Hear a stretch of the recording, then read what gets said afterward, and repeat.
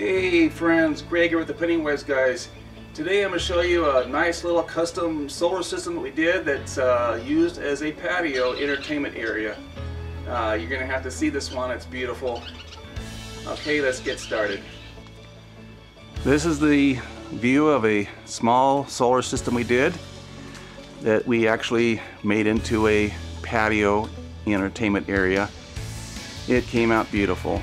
Let me show you some of the details. Here is a view of the posts that have been decorated with brick, full-size brick on these posts.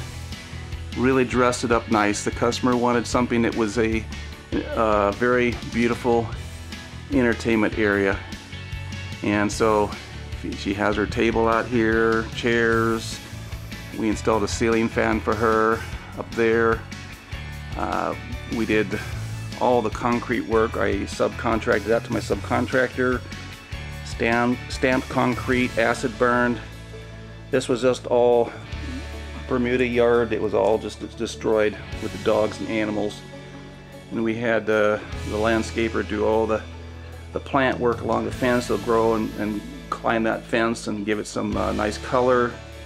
And then some uh, trees that we put out there uh, landscaper that did the concrete work also does all the landscaping. So uh, my, my good buddy and contractor friend that uh, does work for me, he does beautiful work. So that really highlighted this patio very, very nicely. It's a little bit wet right now because I just used the washing system. So we've got uh, 14 panels on this system. If you look at our other videos, you can see that they're made the same way with the C purlin on that side and a Z purlin and another C purlin on the end, the other side here. This has microinverters, the Chilicon Power microinverters. They're the best of the best. I really like them. I highly recommend the Chilicon Power. Inverter has two panels each. So there's seven inverters and 14 panels. Uh, the construction of it, we use the 4x6 uh, header beams and 4x4 posts that have been brick columned there with uh, brick.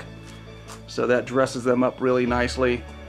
This is a sealed system, so these panels are sealed. We have a silicone uh, uh, sealant on in between the panels. So I just wanted to show you this as a more of a concept video.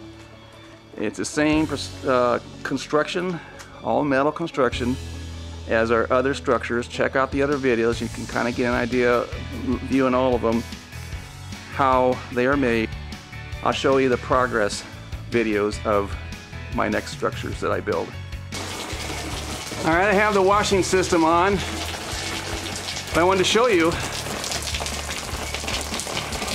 the water running off